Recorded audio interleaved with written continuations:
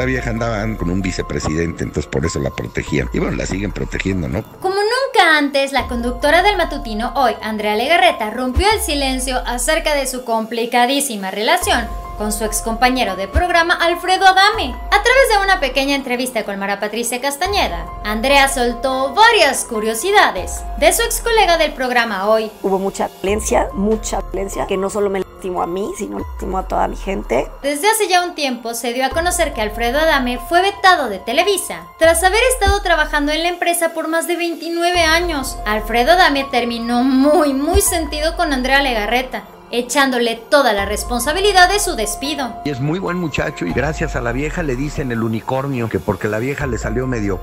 Tras decirle muy fuertes comentarios públicamente y de hecho señalarla de presuntamente haberle puesto el cuerno a su actual esposo, el cantante Eric Rubin, Alfredo dijo que Andrea en realidad andaba con un alto ejecutivo de Televisa. Para mí no fue ninguna pesadilla trabajar con él. Imagínate que fue quien manejó mi coche de novia. Andrea primero que nada dijo que no andaría mucho en el tema, pero que sí recordaba que su etapa con Alfredo Adame en el programa había sido muy linda que todos sus compañeros de ese momento habían sido increíbles, como Sofía Villalobos, Talina Fernández y el Capi Álvarez. Piensa que por mí él dejó de trabajar en hoy. Yo no contrato a nadie ni corro a nadie. Al borde del llanto en plena entrevista, Andrea confesó que no entiende por qué Alfredo Adame la ha tratado de esa manera. Ella se dijo muy confundida ya que ciertas acciones no hacían sentido con lo que habían compartido. He preferido dejar que la historia de cada quien hable por sí sola. Andrea Legarreta quiso aclarar algo que Alfredo Adame ha mencionado durante muchos años. Ella no tiene el poder, supuestamente, de correr a nadie del matutino,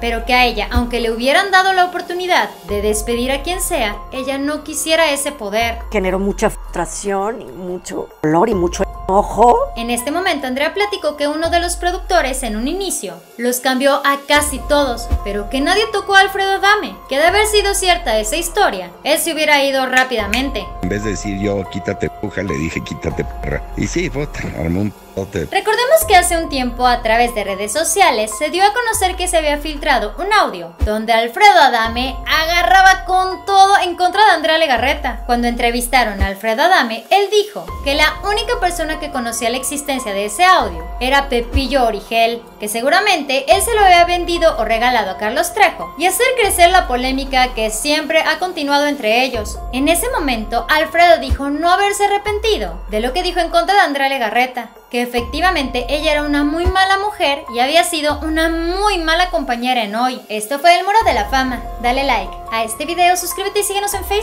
Pero antes de que te vayas, ¿qué te parece si checas este siguiente video? Estoy segura que te va a encantar. Espero que tengas un excelente día. Nos vemos muy pronto. Bye.